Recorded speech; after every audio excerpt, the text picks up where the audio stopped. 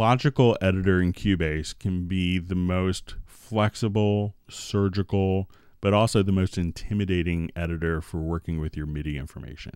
But once you kind of get a handle of it, you can do very powerful things. So let's take a look at some different examples of the logical editor in action to give you an idea of some of its capabilities. Now, sometimes people, when you go to the MIDI menu, are intimidating first because the logical editor sometimes isn't available. And that's because there isn't an event selected for it to do logical editing on. So as soon as you have an actively selected MIDI event, the logical editor will become available. Now, the logical editor is kind of broken down into three areas. And we could think of it as what function we want to do at the bottom, whether it's delete, transform, insert, copy, extract, select. We have a filter target, and this defines what MIDI condition or parameters will be affected, and the action target will allow us to change those values that are defined. All right, so it sounds complicated, but let's take a look at some different examples let's look at this. Um, listen to this little cello part.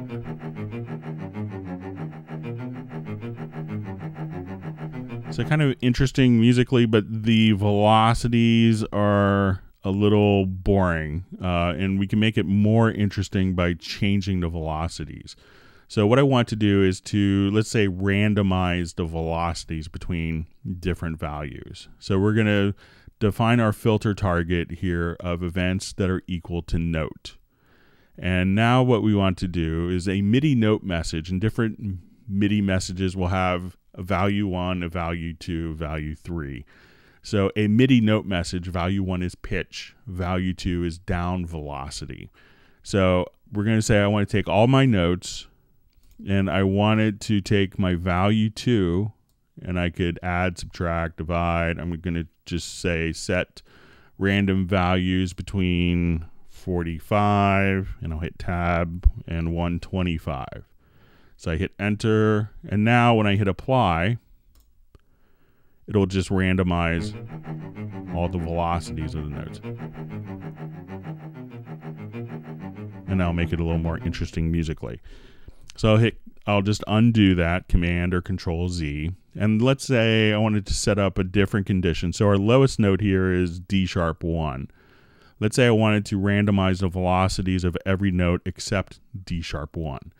So I'm going to go to my filter target and we're going to say value 1 is unequal to D sharp 1.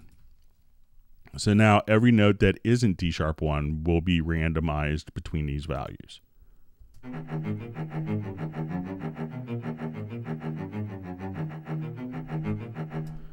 So let's say if we had a part and I wanted to do something even a little more interesting where we just randomized the velocities of every couple of notes. So I wanted to have almost like every third note. So I'm going to add a different condition here and we'll choose last event. And under the condition, we're going to choose every other event. And then we're going to do our event counter, and I'll just type in three. So now every other third note will have its velocity randomized. So you can do stuff like that for hi-hats. It could be really handy for emphasizing more downbeat. So if you want to set up an interesting metronomic feel, very simple to do. And these can all be saved as presets, which can be triggered from keyboard shortcuts as well. Let's look at a different part here. So let's say we have like a pad with some chords. I'll just kind of zoom in here so you can see it a little better. So now when we listen to it,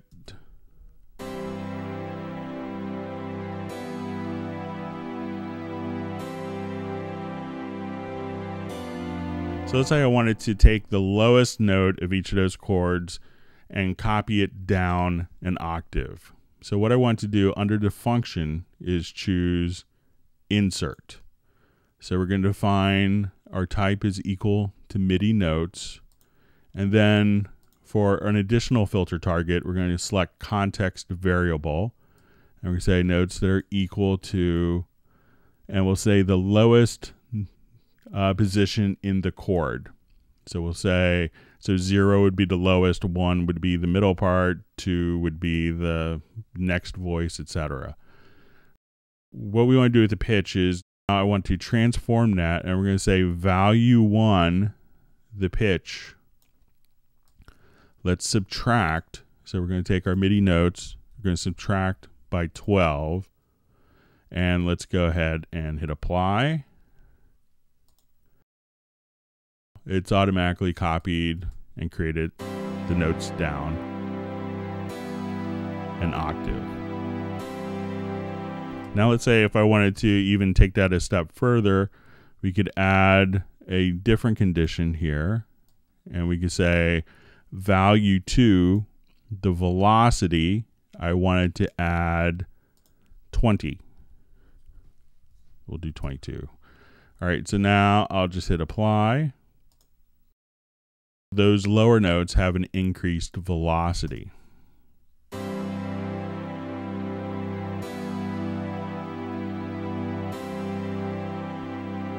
So now there's also some really handy drum editing that we could do as well. So let's take a look at our drum editor that we have this open.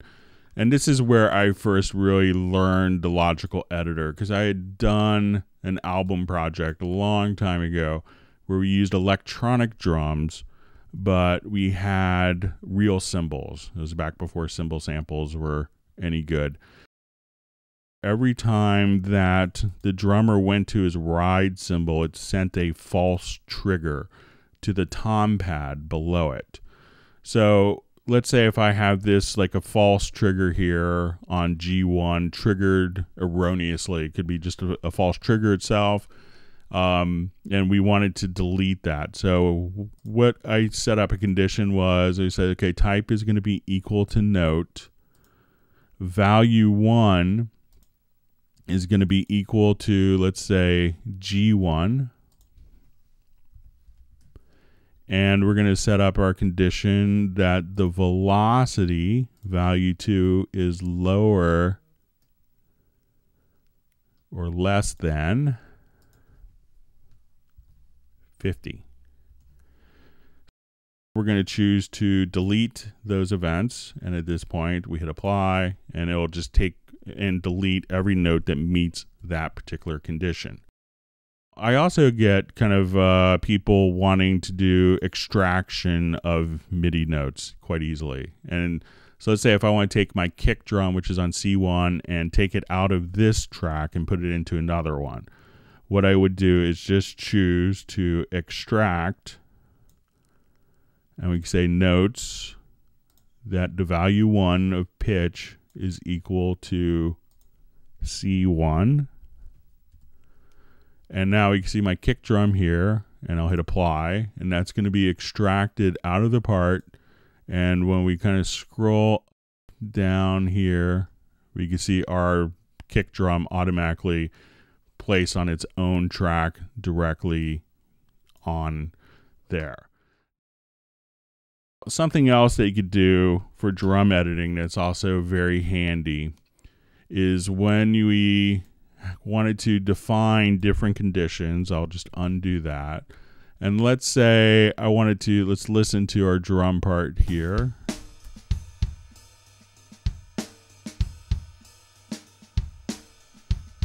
So let's say in this case, the snare drum I wanted to quantize, but only on the main beats that are around uh, beat four. So if we kind of zoom in here, we can see that as we do this, you know, I don't want to affect the rhythmic placement of the other snares because they're kind of free and I want that human feel. But I want beat four to actually be very precisely and quantized for just the snare. So let's set up a condition where we can select all the events that meet that condition. So I want to say we want to select notes where the pitch value one is equal to D1. And then we're going to add a position with that. So we're going to say the position, and we're going to say inside bar range. And we get a little graphic here. And I'm just going to position that around beat four. So just draw it in like so. What I want to do is to select all of those D1s around beat four of the bar. So I'm going to select those. So I hit apply. It's automatically gone there. And now when I hit Q for quantize, only the notes around beat four will be quantized. So if we undo that again, so if we look around beat four, and none of the other notes will be affected. There's also very macro elements of different parts that you want to do in Cubase as well. So let's say if I have a part here, and let's say if I added a controller lane. Now, sometimes you might have extraneous controllers uh, inside of a MIDI part. It could be like the old days, certain MIDI controllers would spit out aftertouch. And you may not notice that until you actually go into a list editor. So let's say we have a lot of pitch bend and aftertouch information here. So if I wanted to delete all the aftertouch, which is unintentional, but just kind of spit out by like an older MIDI controller, I could say we're going to say type is equal to aftertouch. And now at this point, I can hit apply and we go to check in our list editor and boom, all of our aftertouch has been deleted. Now we can also extract different components. So if I say, let's extract the events that are equal to pitch bend here. So at this point, we could just say pitch bend. And just like we did with our kick drum earlier, I could hit apply. And now we could just simply scroll down here and this will just be our pitch bend data. Something else that you could do is if you have different types of controllers, you could also, let's say perhaps if you said, oh, you know, this I recorded modulation and I wanted it to be expression instead. So what we could do is I wanted to transform and we're going to say our type event is equal to a controller. Now value one of the controller would be the controller message, the controller number. So here I wanted it to be, let's say, our MIDI controller one. And then on our action target, we could say value one. And let's say I want to take that modulation and turn it into expression. And here at this point, I'm just going to add 10 because our expression is controller 11. So now at this point, I'm going to take all of the modulation and apply it to expression.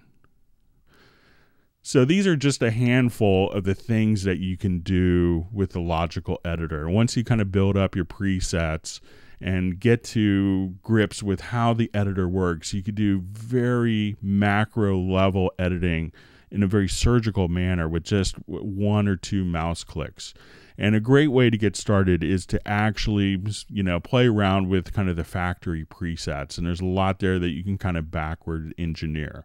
But I think once you start using it, you'll see how powerful it is and it can really speed up your workflow in Cubase.